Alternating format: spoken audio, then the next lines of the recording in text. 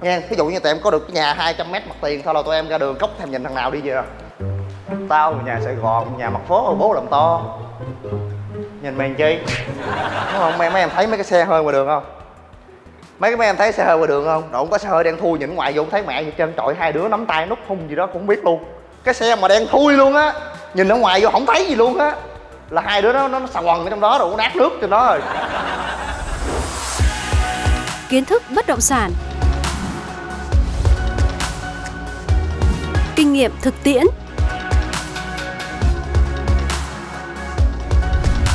Mưu mô lừa đảo. Dreamer làm giàu. Kiến xây Việt Nam. Duy Nguyễn THOL BBT Building. À, trước khi vô chương trình vlog mới anh chia sẻ tụi em nè cái màu này nè máy này máy mỹ hả ba? Wow. mấy cái này sản xuất bên mỹ hết á. Nhìn kìa quả tiết kìa. Đúng không đẹp không? Nhưng mà anh đang nói về cái màu đúng không? Thì thường thường, thường mà tụi em thiết kế phòng gym á có mấy thằng khùng khùng nó mua cái máy màu tím màu đỏ màu gì tùm lum hết ghê lắm mấy em. Tao cũng hiểu sao nó bỏ cái phòng gym nó được nữa trời. Mấy cái máu nó nhìn nó cải lương bà cố luôn á. Đúng không mấy em? Cái máy phòng gym á nó chỉ có năm màu căn bản thôi. Đó tao bay mua lộn màu rồi tao bay chết ngắt. Đó mà cái màu này là cái màu căn bản nhất cái màu này kêu là màu silver màu bạc. Đó chứ không phải màu trắng nha ông nội. Yes. đúng không? Nó đây là cái màu căn bản nhất nên tụi em mua máy rồi tụi em sẽ lựa những cái màu vậy. Nhưng mà cái đó là không phải câu chuyện để anh nói. Đúng không? Cái câu chuyện anh nói á, là cái màu này nè nhìn nó cũng đẹp. Nó cũng đẹp nhưng mà nó thường. Tại vì sao? Tại vì nó là cái màu căn bản nhiều cái hệ máy nó bắt trước làm. Nhưng mấy mấy, mấy cái thằng máy mấy thằng khứa sản xuất bên trung quốc mấy cái mấy cái ghế đẩy ngực là sản xuất bên trung quốc nha mấy em. Nhưng mà ghế đẩy ngực bên quận 12 với quận 7 là sản xuất bên mỹ luôn. Đó tao nói là cái sau đầu tư cao cái trước là vậy đó mấy em. Bây giờ đó tụi em có thể so sánh là cái máy đẩy ngực, ví dụ như cái máy đẩy vai đi. Đó, cái máy đẩy vai máy đập đùi bên đó với máy bên đây. Hai cái nó đều là màu bạc hết. Nhưng mà giờ em thử dùng cái lưỡi em liếm. Đó, phát một, bên đây không sao, bên kia tày mẹ cái lưỡi. Đó đó là chất lượng đó em chất lượng đó cái thằng kia nó bắt trước mà nó được chưa đủ trình. Nó chưa đủ trình nó bắt trước em hiểu không? Nên nhìn ở ngoài á bằng con mắt thường á thì nó sẽ là khác. Nhưng mà khi mà va chạm thời gian thời tiết nhiệt độ của thằng kia đai trước? Xiền luôn. Thằng này dai hơn. Đó. Nhưng mà cái phòng game á mà đầu tư cho máy mỹ á là bắt buộc phải lắp máy lạnh. Bắt buộc phải lắp máy lạnh. Mà hàng nào, hàng nào nói tao ba phải kệ. Nó lại hai máy cũng màu đúng không? Cũng là màu. Nhưng mà khác nhau nhưng mà bây giờ á ở bên quận 7, quận 9 anh không chơi này nữa. Cũng là cái máy này nhưng mà anh chơi màu khác. Đó là màu gì? Đen nhám. Đen nhám? Tại vì nếu mà mình chơi màu đen bóng á nó lên nó cũng thường lắm em. Màu đen bóng nhiều khi nó gỡ muốn màu này nữa. Thiệt sự màu đen nguy hiểm lắm nha. Cái màu đen là màu nguy hiểm. Màu đen nằm trong bách rau sang từ những đẹp. Màu đen nằm trong bách rau cùi má sống theo luôn. Đó. Này không bao giờ chuyện đơn giản đâu à, không nhắc lại hồi nãy anh nói tại sao mà máy mỹ phải lắp máy lạnh đúng không? Không lắp máy lạnh á là ở ngoài đường kìa bụi nó vô lao chết mẹ luôn. Trời sài gòn mà ba bụi nó vô lao bụi vô lao cực khổ lắm. Mà chưa kể nhiệt độ nó nóng á. Nó ban ngày thì nóng buổi tối thì lạnh nóng lạnh nóng lạnh mốt sơn tóc sa ba? Đó. Đó màu đen nhám. Đen nhám để coi này có nào nè đen nhám là giống này nè. Cái này không phải đen nhám mà này là xám nhám. Nè cái này là bộ phận này nè nó cũng là nó cũng giống y cái này thôi. Nhưng mà nó dùng chất liệu là iphone đen nhám. Cái này là xám nhám nha. Cái này xám nhám. Ở dưới tầng 1 nó có một số máy đen nhám đó. Ở bên quận 7, quận 9 anh sẽ xài máy đen nhám vậy. Đó là so sánh cho tụi em hai máy để tụi em tăng thêm kiến thức thôi. Còn bây giờ quay qua chủ đề chính ngày hôm nay là nói về điện mặt trời. Nói về điện mặt trời. Hôm nay tôi bức xúc nhiều thằng nó anh Duy Nguyễn ơi nhà anh bự quá lắp điện mặt trời cho tiết kiệm năng lượng. Ok. Ủa anh làm video phân tích này lần nào chưa mấy em nope. chưa đúng không? Tao nói tiết kiệm cái đầu mày mày sell điện mặt trời đúng không? Ừ, tao, tao đam cho mày chết bà luôn nè con. Tại sao anh Duy Nguyễn không bao giờ lắp điện mặt trời? Lý do? Đơn giản thôi. Lý do là anh đã khảo sát rồi anh tìm hiểu rất kỹ rồi chứ không phải không có đâu. Nó lên bản vẽ cho anh luôn rồi chuẩn bị cầm bút có sai vô thôi luôn rồi đó nhưng mà chưa làm. Nhà sài gòn nó khác nhà dưới quê ở nhà dưới quê thì đất đất đất đất không, đất nó không có giá trị thương mại. Đất có trồng cỏ thôi, thì ông lắp điện năng lượng mặt trời thì đâm ra nó còn hợp lý. Còn nhà ở sài gòn á, thứ nhất diện tích nó nhỏ, đúng không? Bây giờ ông có được cũng 200 mét đất mặt tiền như tôi là ông ngạo nghễ rồi. Này này này này này gần 400 lận em. Này gần, của anh gần 400 lận. Nghe ví dụ như tụi em có được cái nhà 200 mét mặt tiền, thôi là tụi em ra đường cốc thèm nhìn thằng nào đi chưa? Tao nhà sài gòn, nhà mặt phố, bố làm to nhìn mày chi vậy đó mấy em. Nhưng mà giờ hỏi nè lắp điện mặt trời 200 mét được nhiêu 200 mét được nhiêu tính hết rồi ba. Cái, cái thằng làm năng lượng mặt trời cho nó nói á, là anh lắp 250 mét luôn là của anh được 10 triệu một tháng tiền điện. Quy cho mạng giá luôn khỏi bàn. 10 triệu một tháng tiền điện. Đúng không? Mà tiền đầu tư á là mấy trăm triệu. Nó tóm lại á một tháng 10 triệu năm trăm hai. Thì mà tính theo số đó đó hao phí này nọ thì trong vòng 3 năm thu hồi vốn hay 4 năm gì đó không biết nữa. Nói chung là ba bốn năm mới thu hồi vốn. Mà ba bốn năm thu hồi vốn tới đó đụng cái pin nó đai rồi chắc tao cũng ăn hành luôn. Đúng không? Giá trị kinh tế nó hầu như không có. Tao bỏ tiền ra tao lắp cái đó. 5 năm sau tôi mới thu hồi vốn. Ủa 5 năm sau biết pin nó còn sống không? Mấy cái pin này ghê lắm ba. Ồ mấy thằng sale mà. Nó bào tiền mình nói sao chả hay. Tới hồi hậu quả mình lãnh thôi. Nói chung là ngu thì chết. Cái thứ nhất cái thứ hai nữa tiền điện nhà này biết nhiêu tháng không để cho để cho có một cái hệ thống điện đủ mạnh để cho một cái tòa nhà building nó cao như vậy nó rộng như bbt các quận của anh đó thì tiền điện nó chạy từ 60 tới 80 triệu một tháng. Đó thì mày 10 triệu mày được nhiêu phần trăm? Hả? 10 triệu được nhiêu phần trăm mấy em? Nó còn nói anh bán là cho nhà nước tao lại mày tao ăn còn đủ nữa bán cho nhà nước. Đồ, bán cho nhà nước được nhiêu phần trăm? Nếu mà tụi em là anh tụi em có làm không? Nope. mà chưa kể thi công điện mặt trời ở sài gòn không phải là chuyện đơn giản nữa. Nó không phải là chuyện đơn giản. Nó dính tới chính quyền nó dính tới này nọ kia xin phép đủ tùm lum bộ ngành. Nó không phải là chuyện đơn giản bởi với mấy nhà quê nói chuyện hay. Ở quê làm sao cũng được hết ở quê mà dựng lụi cái nhà cũng chả ai nói hết. Giữa ruộng có cái nhà hoài gì? Ra kiếm cái con có cái sổ không? Làm gì có đúng không? Sài gòn nó khác không ơi. Bởi tao quê nhất là mấy cốc cốc mà mới vô nghề sale mà đi gặp tao mà đi đi, đi dụ á nóng dã man mà em biết nó coi thường mình quá trời à. Đúng không? Biết nó coi thường mình quá là điện mặt trời là mãi mãi là không chơi được. Anh không chơi được điện mặt trời. Đó là trả lời lần đầu với lần cuối nha. Mà em nhìn coi nhà sài gòn có con nào xài không? Còn đây là dân nó đâu ngu hết đâu bà. Mày tưởng dân ta ngu hết hả? Mày nhìn đây mày bay lai cam coi. Một ngàn cái nhà luôn mày kiếm chắc đường cái. Đó là dùng nông thôn tôi có căn nhà tranh tôi bé như thật xinh ở nhà đó chắc xa à, à, cái nhà lắp điện mặt trời chắc xài được có cái tủ lạnh với cái ờ, tivi hết rồi đó máy lạnh máy lạnh không dám bật luôn sợ tốn điện? Cầm quạt mo quạt cho mát. Cái cuộc cái công cuộc mà sử dụng điện ở việt nam nó nghịch lý lắm em. Nó nghịch lý bà cố luôn á. Xài điện càng nhiều giá càng mắc cái đó là cái thấy không mến rồi đó. Anh nói thật sự với em luôn nếu mà xét được độ kinh tế đó không có cái đạo lý nào mà xài càng nhiều càng mắc hết. Mấy em có đồng ý với anh đó là nghịch lý không? Yes. đó. Rồi hôm nay ra cái vụ điện một giá mới mới có gọi là gì dự thảo thôi. Bây giờ ông quất luôn hai hai ngàn mấy ký hay gì đó mấy em. Là kể như mấy thằng nào xài điện nghèo nghèo, nghèo là chết sạch. Cái đó mà áp dụng mấy thằng nghèo chết sạch anh đỡ. Anh đỡ tại vì bình thường anh phải trả tới ba ngàn mấy ký lần hiểu không? Mà bây giờ anh, anh giá đó thì anh lời. Còn mấy nhân viên anh mấy anh cầm camera bảo đảm méo mỏ hết. Nhà tụi bay từng này điện tăng lên này nha đó là ví dụ nó là nghịch lý lắm. Bởi vì cái việc mà mình phải cần có đủ một cái lượng điện để đảm bảo cái nhu cầu công việc cho mình nhu cầu kinh doanh để phát triển. Tôi kinh doanh thì tôi mới nuôi sống được nhân viên tôi. Tôi mới đóng thuế được nhà nước. Mà bây giờ không cho tôi xài điện tôi kinh doanh bằng niềm tin nè. Đúng không? Bởi vậy mấy, mấy ổng tối ngày nói là tại thiếu điện thiếu điện là chuyện của mấy ông. Ô mệt quá. Đúng không? Bây giờ xây dựng đất nước mấy em có đồng ý với anh đó tất cả mọi người phải chung vai xây dựng không? Tôi là doanh nghiệp tôi lo chuyện của tôi. Đó còn ông điện lực thì ông phải lo chuyện điện của ông chứ ông thiếu điện cái ông ông, ông đổ thừa cái gì đổ thừa. Mà không lẽ giờ tháng nào á mà cũng xài nhiều tiền điện vậy. Thì mình cũng bức xúc chứ. Ủa nó có những cái biến có, những cái phốt tiền điện nha. Nhà xài có triệu mấy lên tới 15 triệu còn xài hai ba triệu lên năm sáu mươi triệu gì đó mạng đăng âm sùm báo báo không đăng nữa. Mà cuộc đời của anh á tiền điện chưa bao giờ anh, anh kiểm tra có đúng hay sai. Wow. bây giờ á anh lắp máy lạnh cái lượng điện của building của anh nó xài nhiều lắm. Bởi vì có những người mà tư vấn cho anh á nói chung anh anh là giám đốc anh là tổng thôi. Ở dưới anh có rất là nhiều người tư vấn nó là, anh Di ơi, bây giờ cái chỗ điện của anh đó em chỉ cho anh chiêu để cho điện mạnh nè. Hỏi sao? Anh lắp nhiều đồng hồ đi. Còn mới biết chỗ này luôn mày. Cái đó, ủa lần sao em? Cái nói, ủa, anh ờ, điện anh ba pha sản xuất rồi mà đồng hồ gì nữa.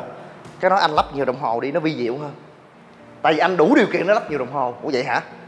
Chứ tao tưởng đâu mà kéo đường dây vô muốn xài nhiều xài chứ. Không có đâu, anh ơi. Năm đủ tải. Má mới biết chuyện này nữa ta. Để nghiên cứu thêm, nghiên cứu thêm. Đó là một chiêu khá là hay. Còn cái chiêu thứ hai nữa bây giờ nè, tại sao đứng trong môi trường này mà anh đổ mồ hôi trong khi máy lạnh nó có? Đó là cái nghịch lý. Tại vì anh nói nhiều đổ mồ hôi hả? Không phải. Mà ra đây bị đứng mát hơn nhiều là con. Đâu mà ra đây đứng nói tới nói tới chết, chưa chưa chưa chưa bị em mồ hôi nữa, tại sao? Ngay cửa máy lạnh kìa ông nội. Đúng không? Ngay cửa máy lạnh kìa. Giờ anh nói vậy đúng không? Vậy em đứng ở đây cũng ngay cửa máy lạnh vậy, sao nó nóng? Nó xa mày ơi. Anh nói vậy đúng không? Nó xa hả? Sao em đứng ở đây nó nó không nóng? Nè, muốn sao ra đây luôn nó ông anh đứng ở đây nói tới chết cũng chưa cũng chưa nóng nữa. Đúng không? Đứng xa rồi được chưa? Vấn đề nằm đâu? Vấn đề nằm ở đâu? Hả? Vấn đề nằm ở đây nè ông nội. Đâu không có vấn đề nằm ở đây nè. Vấn đề nè. Vấn đề là cái tấm kính nè ba. Nhắc tấm kính con câu chuyện huyền thoại. Câu chuyện mà tòa nhà hành chánh của đà nẵng. Ờ, hổm con khứa kia. Nó bó tòa nhà hành chánh của đà nẵng buổi chiều hoàng hôn đẹp lắm đẹp lắm em. Tao vô tao khịa. Mày vô đó lần nào chưa mà đẹp. Đó cái đó, cái cái cái nó nó nó ngồi nó còn ngạo nghễ nữa mấy em. Thằng này lì. Tao vô tao khịa vậy mà còn ngạo nghễ, được. Nói, ủa, mày nói biểu tượng đà nẵng hả? Biểu tượng đà nẵng hả? Tìm hiểu lại đi con, công trình lỗi. Công trình lỗi, cái khóc thời luôn rồi. Cái tòa nhà hành chánh của đà nẵng như búp sen, như cái búp gì đó, nó nằm kế bên tòa tòa novotel đó. Hai tòa cao nhất tòa nhà lỗi bị hiệu ứng nhà kính ông ơi. Hiệu ứng nhà kính là gì? Là làm cho thế giới nó nóng lên đó ông nội? Đúng không? Máy lạnh là làm cho mát mà trong khi tấm kính nó làm cho nóng. Không mang nghịch lý chỗ này nữa. Đúng không? Nó nghịch lý lắm em. Cuộc đời này là những nghịch lý. Mà tấm kính thì nó mới sang nó mới đẹp. Không lẽ giờ tao xây bức tượng? Đúng không? Ông có mấy thằng mấy thằng chó ngu kia nó tư vấn anh ơi giờ thả dây leo đi anh. Nói tao lại mày. Ông tao làm phòng riêng quán cà phê ôm mày ơi ông mới thả dây leo đồ các kiểu. Đó. Thì bây giờ phải suy nghĩ sao để khắc phục cái hiện tượng này. Đó là chắc chắn. Nhà mà càng nhiều kính mà càng nóng thôi hả con? Sang, nhưng mà nóng. Đó.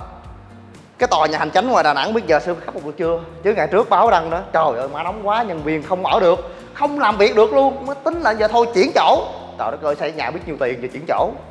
Đó. Nóng lắm. Nên bây giờ đó phải có cái giải pháp nữa biết giải pháp gì không? Thằng nào tư vấn tao phun nước tao tán một tay liền cũng có nhiều thằng nó đưa ra những cái idea. Anh ơi giờ anh lắp hai quạt phun xương cái này nè anh. Từ trên thả xuống phun đủ mờ mờ ảo ảo như sapa vậy đó anh. Má thằng này má tụi khùng thằng này không có được đâu phải không có được. Nói tới kính là nghệ thuật mà nói tới không có nhà nào nhiều kính bằng nhà tao hết em nhìn có những cái nhà anh kính kinh, kinh khủng. Nên bây giờ anh chỉ cho em bí quyết để khắc phục cái hiện tượng này. Bằng cách gì? Bằng cách gì cách gì cũng gì nói để có cái vlog. Đúng không? Mấy, mấy em thấy mấy cái xe hơi ngoài đường không? Mấy cái mấy em thấy xe hơi ngoài đường không? Đâu có xe hơi đang thui nhìn ngoài vô thấy mẹ gì chân trọi hai đứa nắm tay nút hung gì đó cũng biết luôn. Đó. Bởi vì cái xe hơi nào mà đen là biết chừng chơi rồi đó. Đúng không? Cái xe taxi đâu có đen đâu. Cái xe mà đen thui luôn á. Nhìn ở ngoài vô không thấy gì luôn á. Là hai đứa nó nó, nó xà quần ở trong đó rồi nát nước cho nó rồi. Không biết gì hết. Đó đó, đó là cái nghệ thuật đó bởi vì xe hơi nó dùng cái gì? Nó dùng phim cách nhiệt. Phim cách nhiệt nó có hai tác dụng. Một là tác dụng là là là là là, là, là nơi mà phát sinh ra tội lỗi. Cái thứ hai nữa là nó chống nhiệt. Nó chống nhiệt. Tức là cái tia nhiệt ở ngoài đó, nó vô nó bằng công nghệ phản xạ ra hay là nó may hấp thu gì đó cốc không biết. Chỉ biết là dán cái tấm phim nó vô ừ nó sẽ mất nó sẽ đỡ nóng. Nó đỡ nóng cũng nhiều lắm á bảy chục phần trăm chứ không phải giỡn đâu. Oh, hiểu chưa? Tùy phim xịn hay phim không xịn nha có mấy thằng xạo xạo cà hó nó đem miếng mũ vô nó dán nó phim cách nhiệt đâu có nóng chết cha. Tới lúc cuộc đời này mày thạch xanh thì ít mà lý thông thì nhiều. Nó tụi em phải cẩn thận. Nên tụi em phải tìm hiểu phim cách nhiệt. Anh anh tất nhiên anh không nói được. Nói ra mất công tụi bay nói là tao uh, liên kết với thằng này kia đó tao quảng cáo. Đúng không anh chỉ chia sẻ cho em phim cách nhiệt thôi. Cái mặt tiền bên bình tân á anh dán phim cách nhiệt á. Thằng đó nó nó fan của anh nó chém anh 50 triệu. Cũng được đúng không? Bên này cũng phải dán phim cách nhiệt tại vì khi mà em dán phim cách nhiệt đó đó, em tốn 50 triệu. Thì nó có hai tác dụng. Một tác dụng chống chói, đúng không? Chống nóng, nó đỡ tiền điện cho em.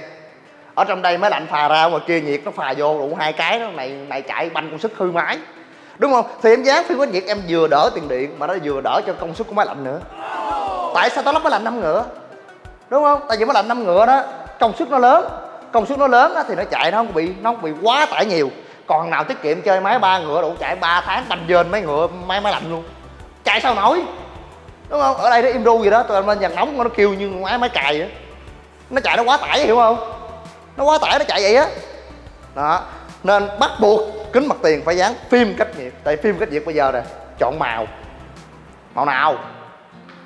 Ô mày mày mày đi mày đi mày mày mày mày mày, mày, mày, đú gái á thì mày chọn màu đen đúng không? Màu đen dán vô thành màu đen, kính trắng màu đen dán vô thành màu đen.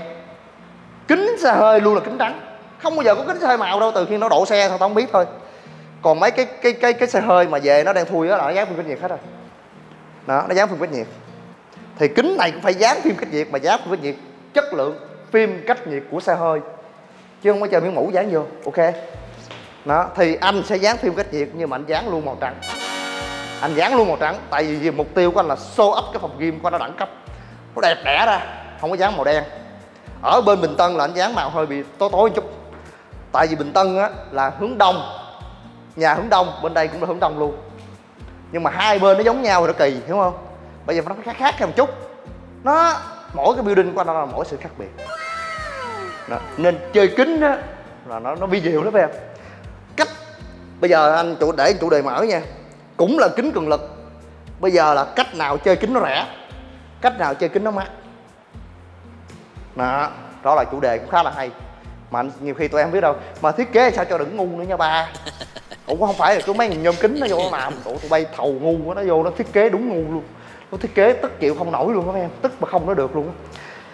Bởi vậy á mình á mình chơi nhôm kính á thì đầu tiên á thằng thầu nó vô phải nói với mình cách làm sao mình duyệt nó mới làm nhưng mà mà để cho tụi em duyệt được á thì phải có kiến thức. Mà để cho tụi em có kiến thức á thì phải coi vlog của anh Duy Nguyễn mới chia sẻ được.